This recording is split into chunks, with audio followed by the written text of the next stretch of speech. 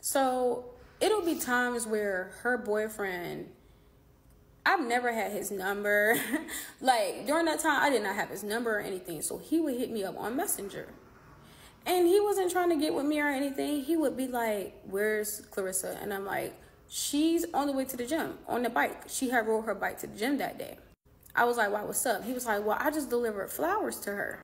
And I was like, okay, cool. I said, well, I just left the house because I had took her car. So I was like, I just left the house and I'm on my way to the gym. So, you know, I don't know. I said, just put it, like, tuck it. I told him where to tuck it. I said, she got good. She she live in a good neighborhood. Ain't nobody gonna take her stuff. She live right beside a judge. That would be stupid.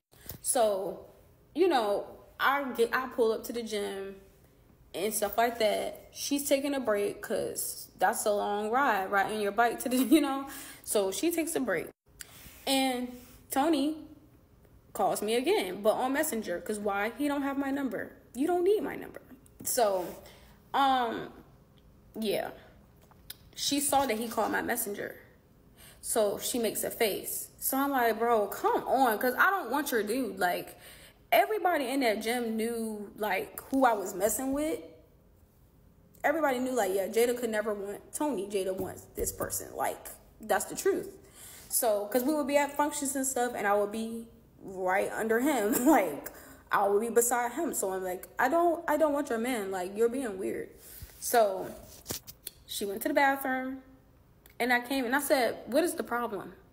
She was like, I saw Tony calling your phone. I said, Okay. I said, I guess I have to spoil the surprise. I said, you know how you always told me that the men you were with in the past never gave you flowers? She was like, Yeah. I said, he got you flowers. It was supposed to be a surprise, but I gotta explain myself like every time now. She was like, he got me flowers. I said, yes, Russ. I said, he got you flowers. That's why he called me.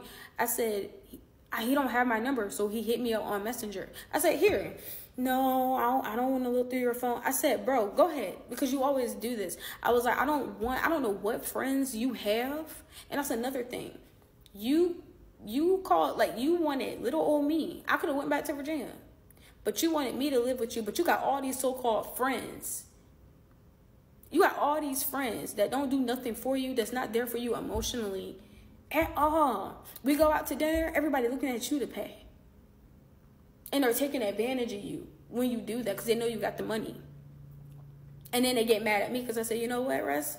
You're paying for everybody's food. I'm going to pay for our food. I'm going to pay for our food. So, okay.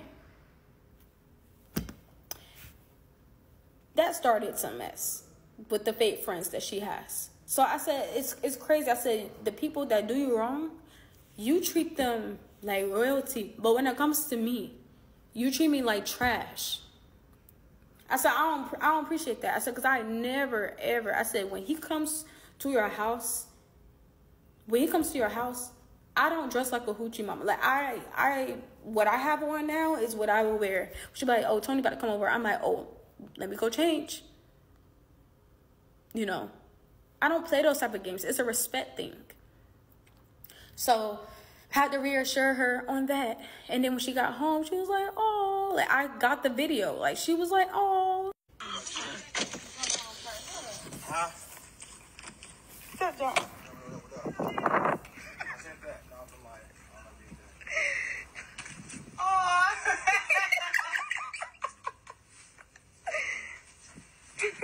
Thank you, Tony. Aww.